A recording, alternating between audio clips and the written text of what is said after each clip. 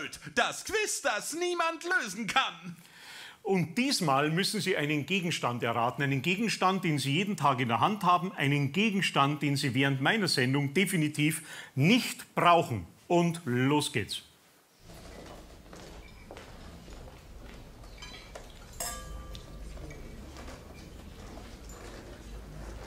Herr Ober, hallo. Herr Ober, äh, wir würden gerne was bestellen. Hallo, hallo. Was? Was ist denn?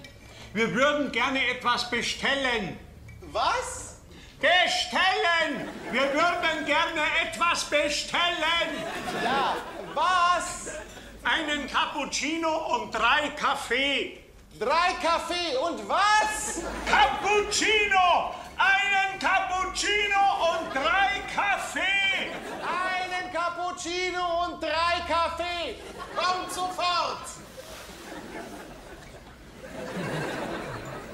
Sie haben es erraten. Die Lösung lautet Fernbedienung.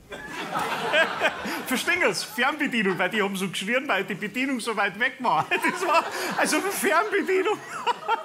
haben Sie nicht verstanden? Gut, das ist seine Mama ist so begriffsstutzig. Ähm, aber gut.